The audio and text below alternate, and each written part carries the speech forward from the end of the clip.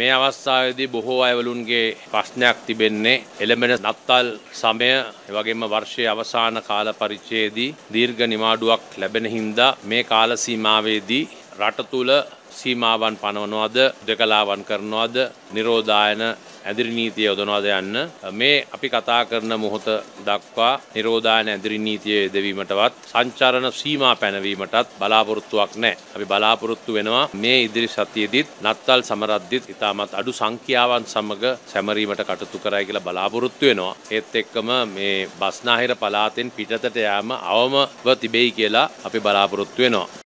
ඉදුරුව තුන්දුව නැගෙනහිර සහ තුන්දුව බටහිර යන ප්‍රදේශ මේ වන විට හුදකලා ප්‍රදේශ ලෙස නම් කර ඇති බව කොවිD-19 පැතිරීම වැළැක්වීමේ ජාතික ක්‍රාන්විත මධ්‍යස්ථානයේ පවසනවා. එම ප්‍රදේශවලට ඇතුළුවීම හා පිටවීම සම්පූර්ණයෙන් තහනම් කර තිබෙනවා. මේ අතර උත්සව සමයේ ජනතාව එක්රැස් වන ප්‍රදේශවලට පැමිණෙන සියලු දෙනා සෞඛ්‍යාරක්ෂිත ක්‍රමවේද අනුගමනය කළ යුතු බව මහජන සෞඛ්‍ය පරීක්ෂකවරුන්ගේ සංගමය අවධාරණය කරනවා. එසේ ක්‍රියා නොකළහොත් ඉදිරි කාලය අවධානම් විය හැකි බවයි එම සංගමය පෙන්වා දෙන්නේ.